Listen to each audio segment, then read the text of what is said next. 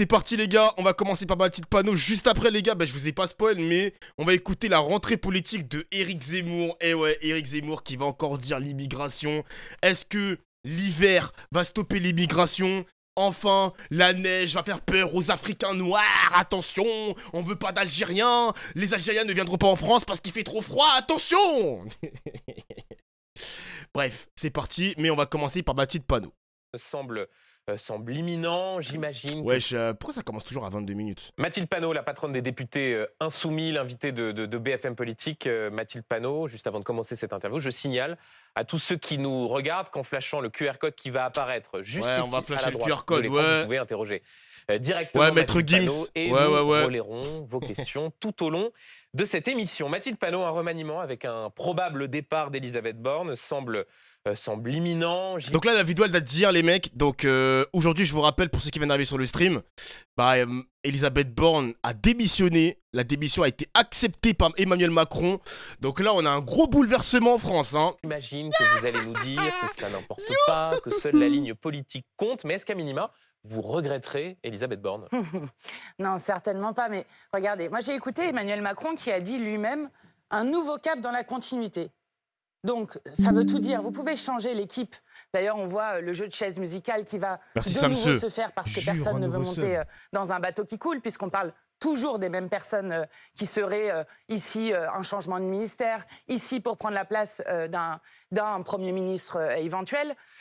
Mais la, la politique ne va pas changer. Or, ce, ce dont ont ont envie le peuple de France, c'est d'avoir une rupture. On est quand même dans une situation septième puissance économique au monde, nombre d'enfants qui dorment à la rue qui est en train d'exploser.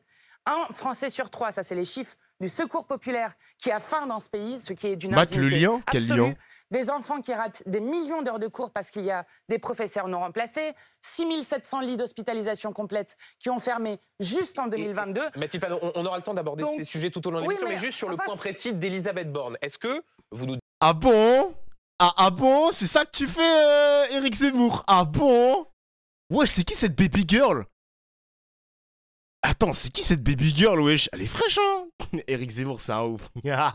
dites euh, oui, moi je serais euh, satisfaite de la voir euh, partir Il aime que bien. ça ne compte pas pour vous? Mais non, ça ne compte pas parce que Elisabeth Borne, on le sait très bien, avait été abîmée par les 11-49-3, par la bataille sur les retraites où ils avaient passé en force la retraite à 64 ans. Et donc, ils ont maintenu Elisabeth Borne le plus longtemps possible pour Mm. qu'elle fasse ensuite les 23-49-3, qu'elle passe en force non seulement la 23. loi retraite, mais aussi la loi immigration. Et euh, cette loi immigration qui, je le rappelle, reprend ligne pour ligne du programme de Jean-Marie Le Pen. vous, passez votre, Donc- vous passez votre vie à demander le départ d'Elisabeth Borne. Là, si elle s'en va, au moins, vous pourriez vous dire, bah voilà, on a pris le point, on va gagner là-dessus. Bah écoutez, tant qu'il n'y aura pas de changement de politique, ça ne, ça ne- ça ne changera pas grand-chose. D'accord. Parce que, y compris, nous, Donc on ça fait servait à rien D'accord. d'appeler à sa démission sans arrêt, en fait. Ce que vous dites, Bah, même, ça, si, ça mais peut parce que, en fait, si, si par exemple vous me dites qu'Elisabeth. Borne part Merci, pour un ministre qui va demander la confiance devant le Parlement, là je prends. Là je prends. Mais Mm. vous comme moi, vous savez très bien qu'aucun des premiers ministres qui sont nommés pour l'instant et suspectés de, de pouvoir être nommés à Matignon ne demanderont la confiance à l'Assemblée nationale. Moi, je voudrais un premier ou une première ministre qui demande la confiance à l'Assemblée, qui ne passe pas sans cesse en force euh, des- des- des mesures et qui ne gouverne pas en même temps pour des milliardaires et pour des multimilliardaires. Est-ce que vous pensez que ça peut être pire parmi les, noms des prétendants qui sont cités euh, aujourd'hui? Il y a par exemple euh, Sébastien Lecornu qui vient de la droite, qui est le ministre de la Défense. À l'inverse, il peut y avoir Julien Denormandie qui lui était plutôt salué lorsqu'il est passé à l'agriculture. Il y a un moindre mal selon vous ou pas? Bah, on n'a on a que des mauvais choix. Regardez, alors dans les, dans les gens que vous avez nommés, vous avez nommé Monsieur de Normandie. Monsieur Mhm. de Normandie, c'est un technocrate complètement déconnecté. C'est celui qui expliquait, par exemple, qu'il n'y avait que Un 50 ingénieur, femmes euh, isolées SDF qui euh, dormaient en Ile-de-France. Je ne sais pas si vous vous rappelez. Celui qui est contre l'interdiction du glyphosate, celui qui est contre le gel des loyers, etc. C'était le ministre de problème, c'est qu'il l'Agriculture, n'a lui. jamais été élu.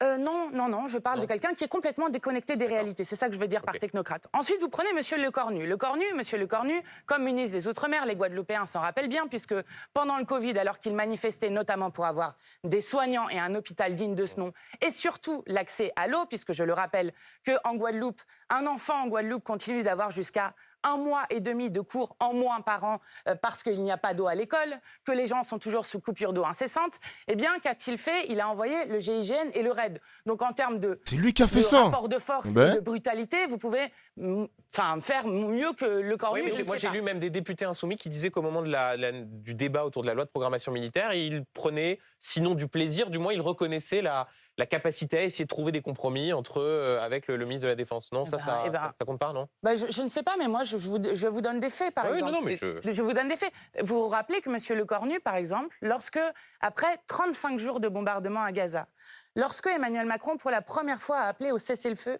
immédiat et inconditionnel, le lendemain même, Sébastien Lecornu était en Israël, en train de rencontrer son homologue, le général Galland, qui est celui qui organise les massacres sur la population euh, palestinienne, pour lui apporter son soutien. Donc, Aïe, son soutien. hein. je, je ne sais pas vous dire. En fait, la, la politique. Ah, ça m'avait manqué cette joute verbale. Merci Reborn pour le sub. Merci mon gars. Ça m'avait manqué, hein. sub. Le lendemain, il est parti en Israël pour aller apporter son soutien au général. pas une question de personne, c'est la question de la ligne politique qui va Ah être établie. bon question Allez, d'ailleurs, si on vous suit bien, si on suit bien vos argumentaires, quelle que soit la personne qui sera nommée à Matignon, vous allez tout faire pour essayer de la renverser Ah bah, si vous suivez bien mon argumentaire, nous sommes une opposition. Effectivement, nous avons été élus pour nous, opposer à Emmanuel Macron et pour proposer une alternative politique. Et donc, c'est ce que nous continuerons à faire. Et évidemment, nous continuerons à nous battre de toutes nos forces contre le projet d'Emmanuel Macron. Parce que, par exemple, dans les grandes choses qu'on nous promet là pour euh, ce- cette nouvelle année 2024, on, nous, on nous promet un pacte 2. Dans ce pacte 2, on va par exemple s'attaquer aux droits des chômeurs de plus de 55 ans. Donc on aura Jure, déjà volé deux ans de vie Merci aux Français, jusqu'à gars. 64 ans euh, l'âge de la retraite. Et maintenant, ceux qui n'auront pas d'emploi, puisque vous le savez, pourquoi y a-t-il des protections spécifiques pour les plus de 55 ans? C'est parce que justement, il y a des discriminations spécifiques pour l'emploi euh, des seniors. Et donc, euh, vous allez avoir donc des gens qui vont se retrouver sans droit au chômage puisqu'on va leur baisser leur droit au chômage. C'est ça, par exemple, qu'on propose. Donc, que ça soit Monsieur Le Cornu, Monsieur de Normandie ou Madame Borne, c'est le projet politique qu'ils veulent faire. Et nous continuerons à dire que nous ne sommes pas d'accord avec ça, que nous sommes les partisans de la retraite. Les mecs, vous avez vu pour Pôle emploi ou pas, les gars? Petit quiz pour vous, le chat. Comment s'appelle Pôle emploi maintenant en pic 2024 Petit quiz pour le chat, là. On est en 2024, on a repris les streams. Révision. Révision, les gars. Comment on a. Ah, bonne réponse. On dit France Travail. France Travail. The French Working. Work French. Attention Pourquoi il a renommé ça? Le mec, il a fait une mise à jour, mais c'est toujours. euh, bah, C'est toujours Pôle emploi, quoi. hein. C'était quoi l'ancêtre de Pôle emploi déjà? Euh, Putain, je l'ai vécu ce moment. Euh, C'était ANPE. Je crois que c'est. Ouais, l'ANPE, voilà. ANPE. Et c'est une dinguerie ce mot. hein. Et avant l'ANPE, c'est les ACDIC, je crois. Ouais, c'est les ACDIC.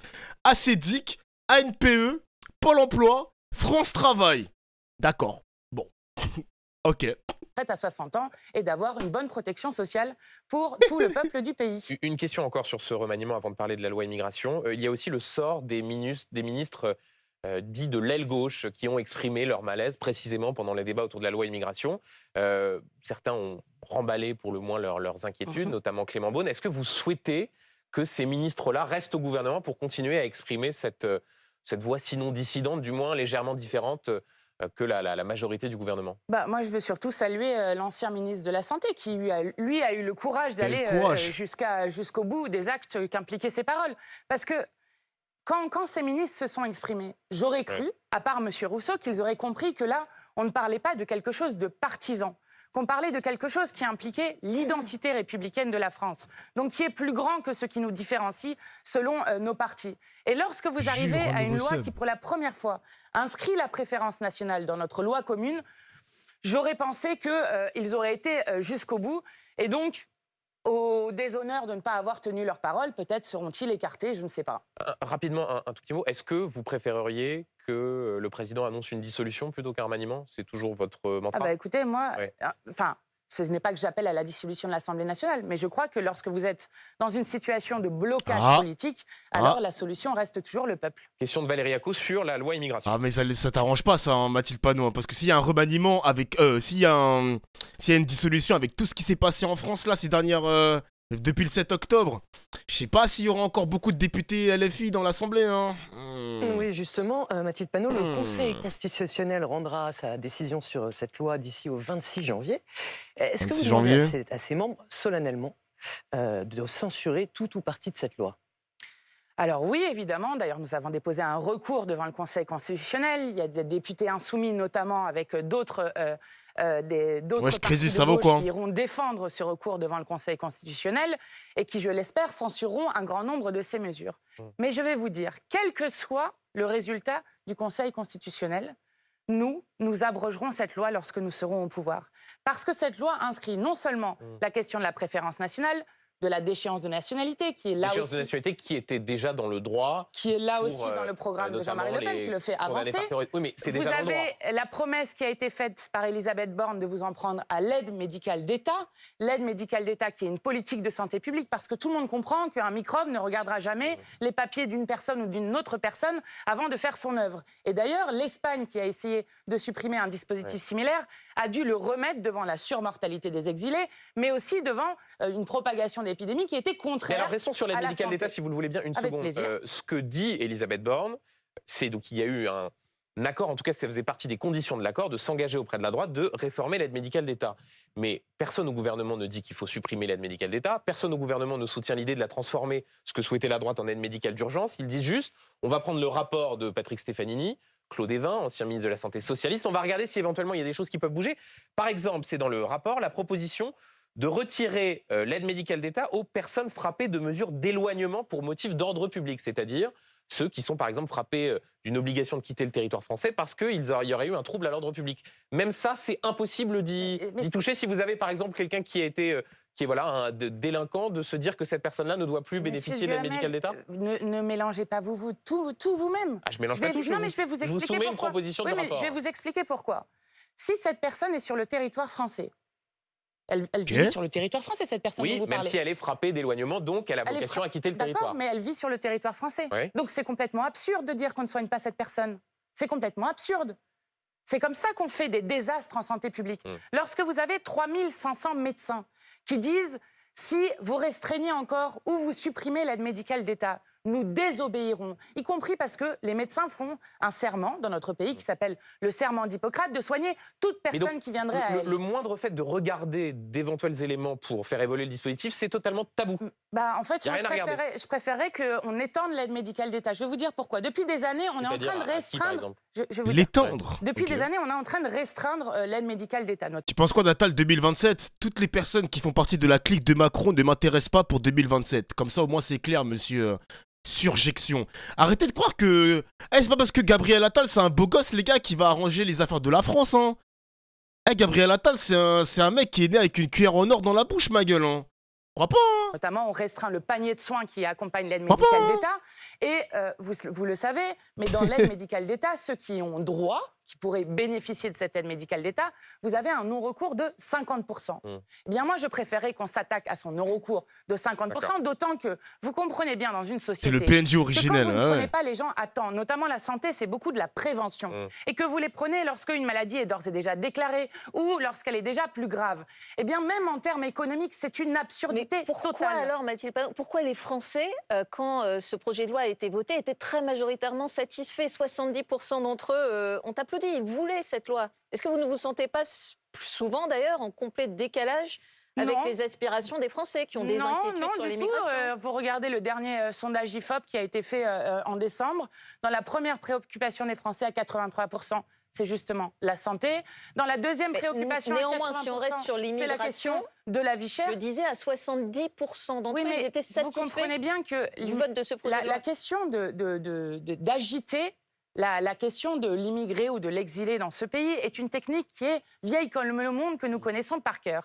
Quelle est sa fonction pour les Donc gouvernants les Français ne sont pas Sa fonction du pour tout les sur gouvernants, l'immigration. je vais vous dire, je vais- attendez Mm. juste. Mm. Sa fonction pour les gouvernants est de diviser le peuple, tout comme d'ailleurs le racisme a pour fonction de diviser, à chaque ouais. moment. Euh, c'est vrai, peuple. ça. Enfin, c'est pas Salut, raciste de se poser la question de la façon dont peuvent Ah, évoluer les dispositifs En autour tout de cas, je pense l'immigration. que cette loi est xénophobe. Euh, oui, oui, cette loi est xénophobe. Mais alors comment expliquez-vous? Attendez, par parce contre, que je, rebondis sur le sondage d'Amandine. Par Je rebondis sur le- fait gauchette par Papsan ce matin, qu'en penses-tu? J'ai même pas vu le stream, les gars. J'ai vu que j'étais sur le stream vite fait, j'ai vu qu'il m'avait mentionné.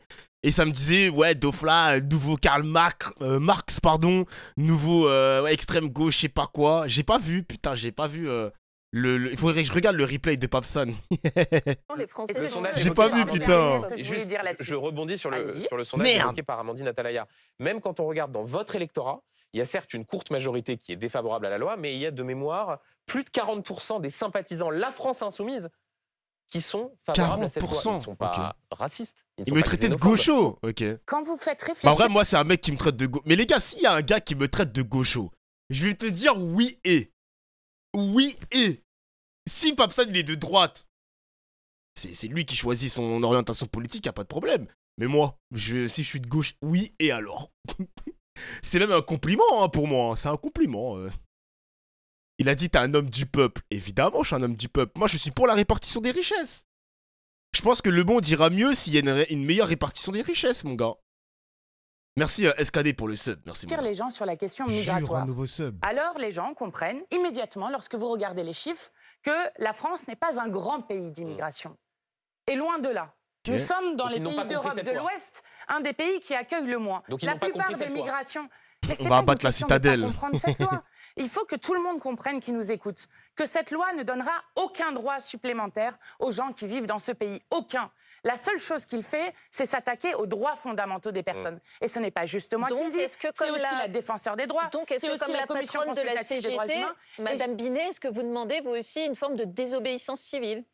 Ah bah, euh, J'espère que euh, déjà Emmanuel Macron ne promulguera pas cette loi parce que euh, je, le dis, hein, mais Emmanuel Macron avait dit que si cette loi était adoptée avec les voix du Rassemblement national, Ah désobéissance alors, euh, civile, il quand ne même. la promulguerait pas en l'état. Elle a été adoptée avec les voix du Rassemblement Alors là-dessus, si national. on doit être précis, si tout si le le RN avait Rassemblement voté national contre... votait contre, comme euh, initialement, alors la loi ne passait pas. Alors, Voilà. ouais, mais c'est Votre précision. très techniquement Là- là, et mathématiquement parlant, il aurait fallu qu'ils s'y opposent tous, mais Oui, stricto sensu, la voix n'est pas passée avec les voix du Rassemblement national. Dans un scénario où ils se Bah seraient si, opposés, excusez-moi, si- s'ils doivent ne pas voter contre, euh, ça veut dire que euh, Oui, c'est si- passé si avec on les voix du Rassemblement décompte de leur voix, il leur manquait cette voix. Bon, je passe, je passe sur, sur cette question-là. Mais ensuite, la deuxième des choses, vous avez d'ores et déjà des départements qui ont dit qu'ils compenseraient Répartition des richesses, mais c'est toi le plus riche ici, non? Du coup, tu peux partager ou quoi?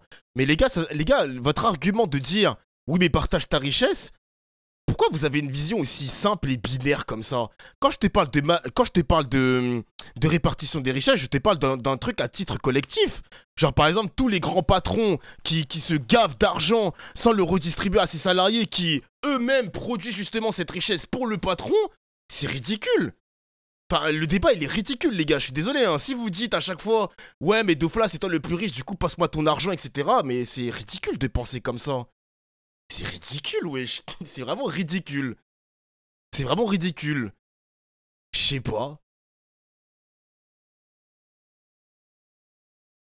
Oui, d'accord, mais c'est facile de juste cibler les gros. Le partage se fait à tous les niveaux. Oui, mais moi, je paye mes impôts, moi. Là, si vous me parlez de moi, les gars, moi je paye mes impôts. Mais quand tu vois tous les exilés fiscaux, quand tu vois tout, toutes ces personnes qui payent pas les impôts, leurs impôts en France, etc., etc. Enfin, je suis désolé, enfin, font de l'optimisation fiscale et tout, bah ouais, la, richesse elle est mal répartie. Les dividendes c'est pareil. Les bonus c'est pareil. Enfin, je sais pas. Et puis me dire que les patrons ils créent des emplois alors que c'est littéralement de, l'esclavage moderne, bah super, hein, euh, super, ils créent de l'emploi, bah d'accord. euh. Bon, je parle pas des patrons de PME, les gars, je vous parle des, grands patrons du CAC 40, hein, super. Super les emplois, hein, vraiment super. et qu'ils ne feraient pas. Par exemple, la mesure sur la question des allocations familiales. Je rappelle que les allocations familiales ne sont pas faites pour les parents, ils sont faits pour les enfants, pour que les enfants aient un minimum à vivre, ce qui est notamment dans la Convention internationale des droits de l'enfant que la France a ratifiée. Et vous verrez que nous serons une centaine d'associations, de collectifs, de syndicats qui défileront ensemble le 14 janvier pour 14 nous opposer janvier, à cette loi et en mais demander le concrètement, Mathilde retrait. Panot, désobéissance civile. Alors attendez, bon, on, va, on va passer sur la désorganisation civile. On va voir s'il y aura un- une petite parenthèse sur Gaza au QTF. Regarde vite fait, Mathilde Panot répond à vos questions. Alors, ah, ça, ça m'intéresse, hein. Ça, ça m'intéresse, ça m'intéresse. L'Israël, ça m'intéresse. Est-ce qu'il y a une question euh, Attends, peut-être là. Le lendemain a suscité beaucoup de commentaires. Euh, la voici, elle va apparaître à l'écran. Euh, L'armée israélienne bombarde la capitale libanaise. Le criminel de guerre Netanyahou fait courir le risque d'une guerre régionalisée. L'appui Oh. des États-Unis rend possible ces exactions. La France doit exiger la réunion d'urgence du Conseil de sécurité des Nations Unies. Des sanctions fermes doivent être prises sans délai. Est-ce à dire, Mathilde Panot, que vous regrettez, que vous condamnez l'élimination du numéro 2 du Hamas? Écoutez, si par exemple euh, euh, un Merci, Abdul, criminel pour le de sub. guerre belge ou euh, quelqu'un qui aurait commis euh, un acte de terrorisme belge allait se cacher en plein Paris, je ne serais pas très enthousiaste que euh, la Belgique arrive avec des drones pour tuer en plein Paris euh, ce- ce- cette personne-là. Ça ne marche pas comme ça. Ni le droit international, ni... Non mais vous vous rendez compte, la- la- le Liban est un État souverain, monsieur Duhamel. Et donc, Oui. ça ne peut pas C'est vrai qu'elle a raison quand même, hein. on n'a pas parlé assez de cette dinguerie. Hein. Le, Israël qui décide de venir comme ça, violer le, l'espace euh, libanais, normal, euh, pour aller... Bon, ok, ils ont réussi à toucher la cible, mais c'est une dinguerie de faire un truc comme ça quand même. Hein.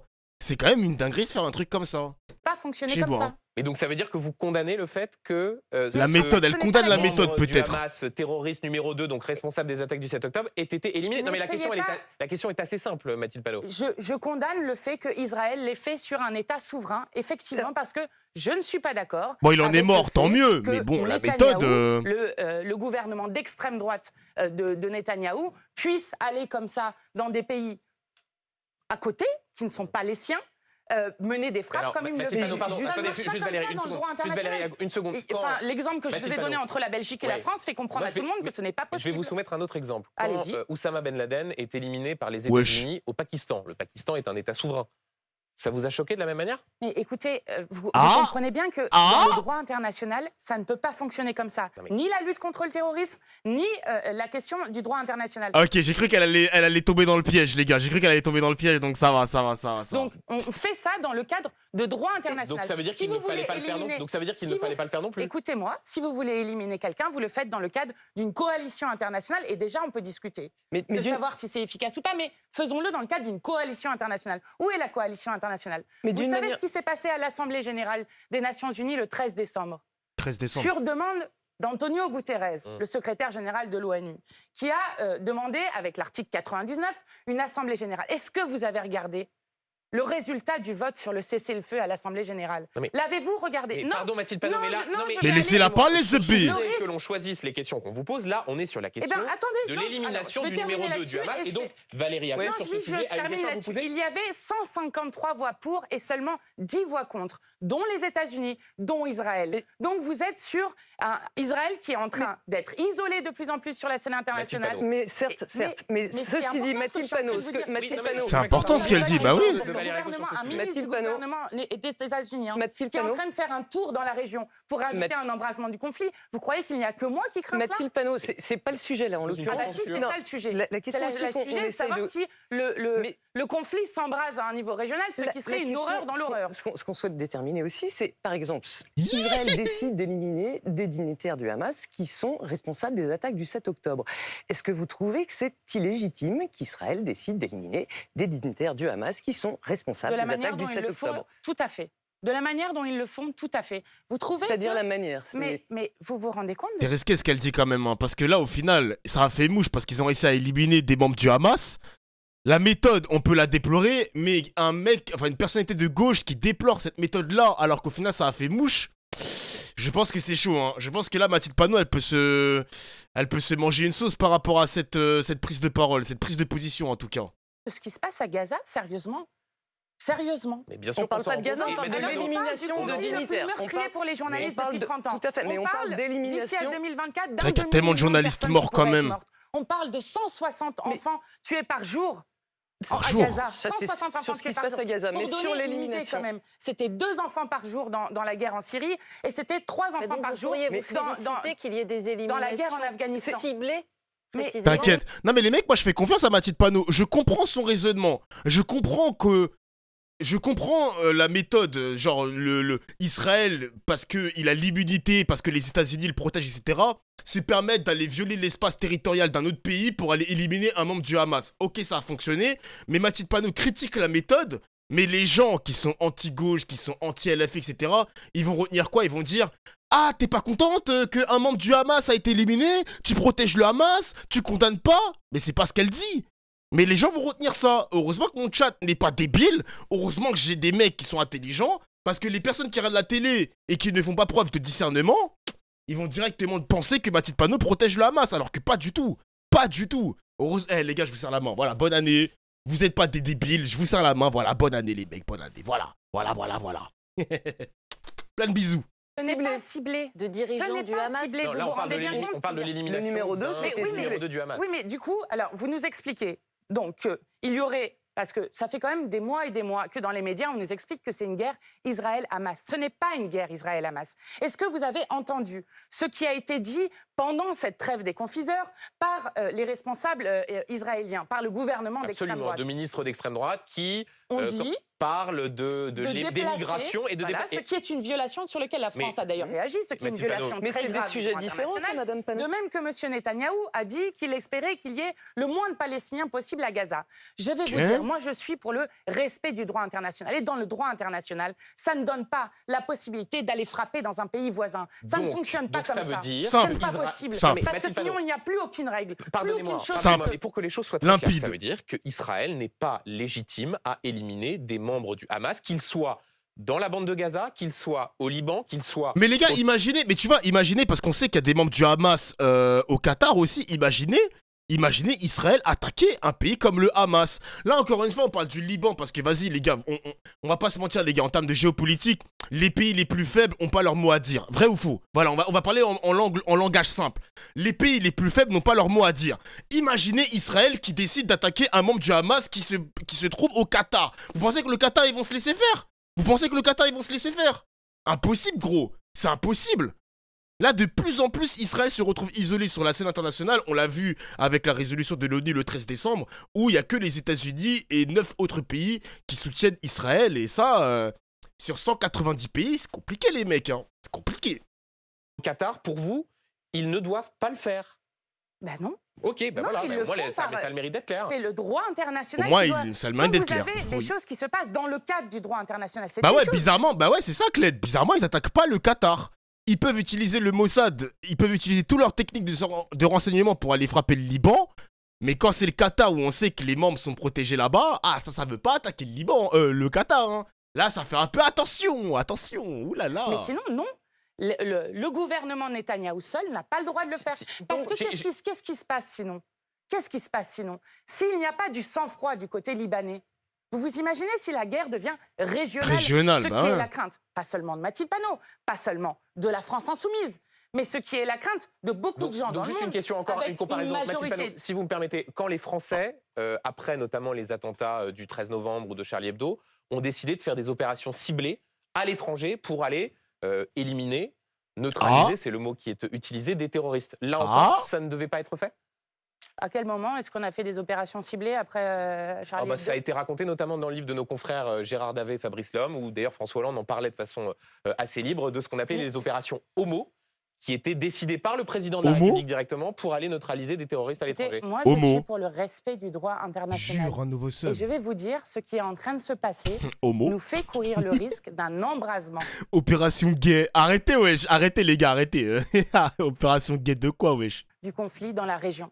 C'est clair, Vous ne c'est répondez, raison- vous ne répondez pas à ma question, Si, si, Sur le, fait pas- de neutraliser des, je ne euh, suis des- pas d'accord avec le fait qu'on aille frapper le Liban. Je ne suis pas d'accord. Vous diriez que c'est un crime de guerre de la part d'Israël Puisque vous dites par ailleurs que Benjamin Netanyahu est un criminel de guerre. En tout cas, euh, ce que fait euh, en ce moment Netanyahou euh, euh, à Gaza est, des crimes de guerre qui sont avérés par l'ensemble des ONG, au point que l'ONU Attention aussi, tu vois, la question elle pique. Hein. Ouais, la question elle pique. J'allais, j'allais euh, justement m'exprimer par rapport à ça parce que la comparaison, la comparaison, pardon, la comparaison elle est pertinente parce que si elle condamne Israël parce qu'il tape le Liban, il faut aussi condamner la France qui tape un autre pays pour aller tuer euh, des, des, des, des membres importants qui ont fait des, qui ont perpétué des attentats en France. Donc là, Mathilde Panot, c'est un petit peu perdu par rapport à ça. Moi, en tout cas, j'ai pas été convaincu par son argumentaire. Personnellement, à titre personnel, j'ai pas été convaincu. Peut-être vous, vous l'êtes, mais moi, ça m'a pas convaincu. ONU explique aujourd'hui que Gaza est devenu un lieu inhabitable et que euh, la question de savoir comment est-ce qu'on obtient le cessez-le-feu immédiat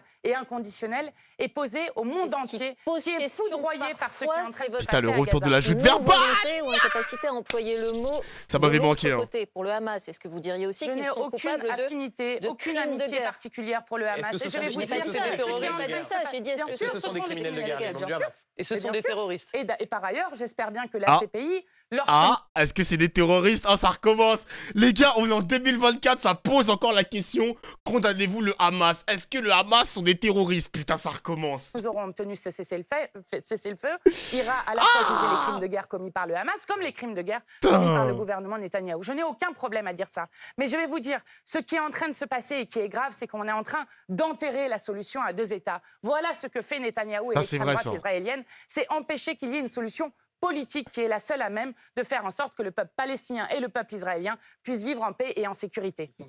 Mathilde Panot, la France et la, la Jordanie ont annoncé qu'elles avaient livré, et c'est une première hein, pour la première fois, 7 tonnes d'aide humanitaire sur Gaza. Euh, Est-ce que vous vous en félicitez?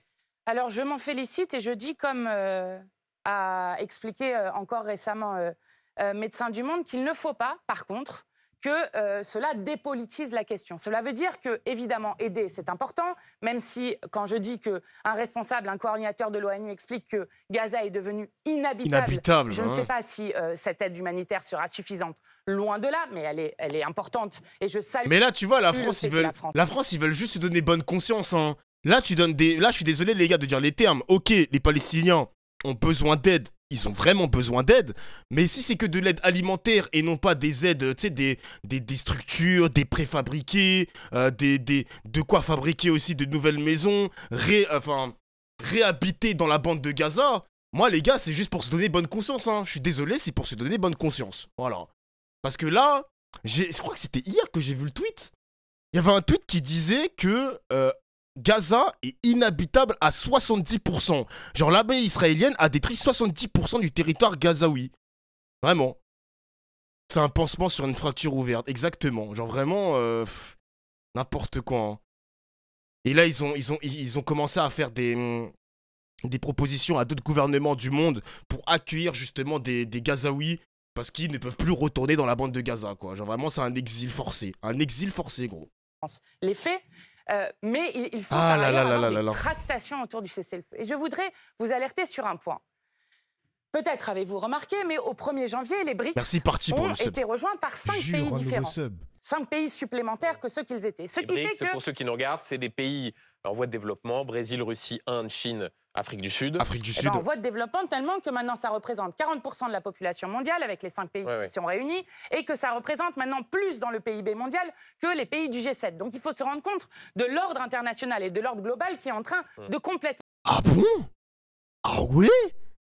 Mais non, le BRICS est plus puissant que, que le G7 Ah ça, je savais pas ça Après, c'est vrai qu'il y a la Chine quand même, donc oui, normal, la Chine et l'Inde pèsent beaucoup. Putain, c'est...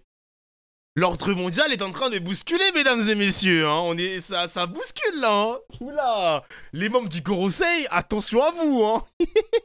se modifier. Et nous avons eu deux alertes. Ah On parlait ouais. tout à l'heure du 13 décembre. Ah au moment de ouais. l'Assemblée générale, où vous avez d'un côté 10 voix contre seulement le cessez-le-feu et 153 pays pour. De même que nous avons eu une autre alerte à un autre moment, qui était celle qui a eu lieu en septembre, lorsqu'il y a eu le G20.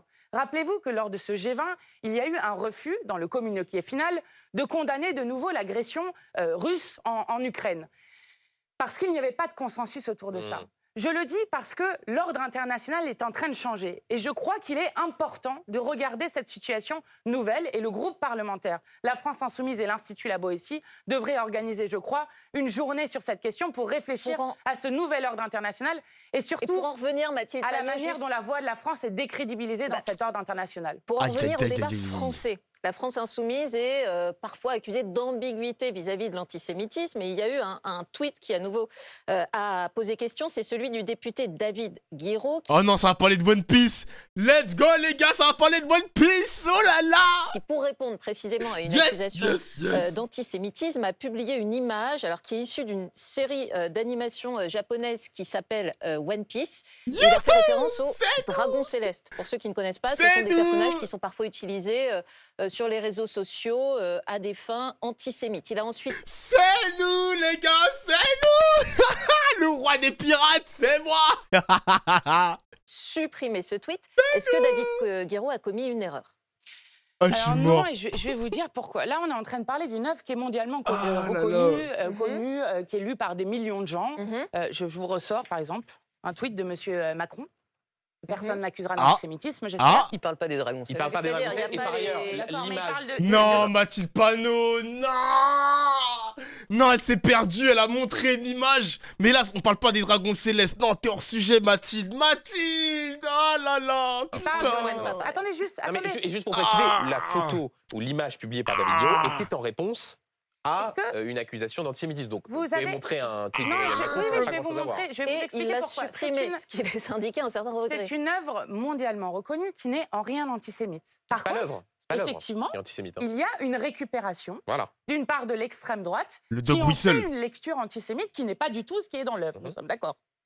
Donc moi je dis, il n'est pas possible d'avoir un débat politique et public qui soit Attends, attends, quoi? Les délires dragons célestes antisémites, ça venait de l'extrême droite? Ah bon? Attendez, les gars, c'est sérieux ou pas? Premier degré, je suis pas suceur, hein, mais. Attends, comment ça? C'est l'extrême droite complotiste. Ah bon? Ah bon? Parce que moi, ça vient de tout le monde, les mecs, hein. Ça vient de tous les lecteurs de One Piece, qu'ils soient apolitiques ou peu importe le parti politique, mais l'extrême droite en premier, qui a récupéré les, les dragons célestes pour, pour dire que c'est antisémite, je savais pas. Non, pas tous les lecteurs, évidemment, les gars, mais. Bizarre quand même, hein. Moi, je sais pas, hein. Pour moi, ça vient de Twitter, ouais, voilà, c'est ça. C'est pas du tout d'origine politique. Oui, ça va au-delà de la politique, évidemment. Évidemment, évidemment. emprisonné par les Pourquoi il a hashtags de, de son tweet, l'extrême alors? droite. Pourquoi il a supprimé Mais parce son tweet que alors vous avez vu les polémiques qu'on Et il s'est s'est tout le temps Oui, Pourquoi bah, il a- il, il le- il il savait pas, il savait pas que c'était récupéré justement par les Bah, courants de droite et, non, d'extrême et droite. justement, c'est ce qu'il explique dans son tweet. C'est probablement la raison pour laquelle d'ailleurs il l'a supprimé.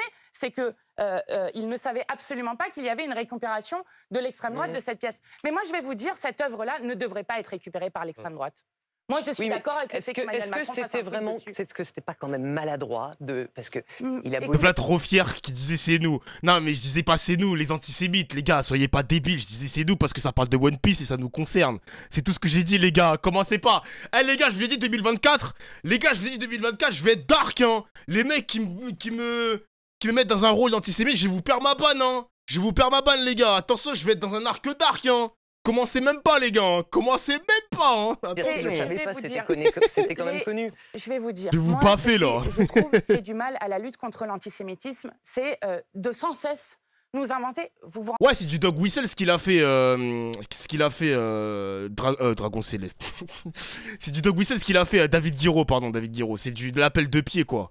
Regardez la définition sur internet, les gars, pour ceux qui connaissent pas le Dog Whistle. vous rendez compte que moi, on m'a dit que j'étais antisémite parce que j'avais dit au moment du naufrage, parce que c'était ça le thème de mon Naufrage. discours, du naufrage des Vous législatives aviez où parlé, vous les macronistes perdent Borne 100 comme d'une députés, j'ai dit rescapée. Non mais vous vous rendez compte qu'on m'a fait un procès d'antisémitisme pour ça Oui, mais- Eh bien je vais vous dire. Non, je vais vous Ah dire bon pourquoi, je trouve ça non seulement infamant pour nous, mais problématique pour la lutte contre l'antisémitisme qu'il faut continuer dans ce Oui, pays. mais attendez, pardon, Parce que Mathilde vous Panot. avez- Juste, pardon, mais Par exemple, reconnaissez. quand vous avez quelqu'un du Rassemblement national, est-ce que vous leur demandez si Monsieur Bocaletti, Ah bah attendez, alors là, pardon, pardon Mathilde Panot, pardon Mathilde Panot, parce que pardon Mathilde Panot, mais sur ce sujet, on les interroge, en Eh ben, l'espèce, très moi j'ai bien. interrogé Jordan Bardella aussi mais, mais sur moi il n'y a pas Jean-Marie Le Pen. d'antisémite dans mon groupe. Non, mais Par contre, il y en a dans leur groupe, Non mais Mathilde Panot, Oh. notamment ce libraire négationniste. Mathilde Panot, la question qu'on Oh, sioniste. David Guiraud qui publie euh, ce visuel-là, qui est effectivement parfois utilisé par des gens d'extrême droite à des fins antisémites, qui dit ensuite je ne voulais heurter personne, je retire. Quand on a les propos de Jean-Luc Mélenchon sur le président du CRIF d'extrême droite, quand on a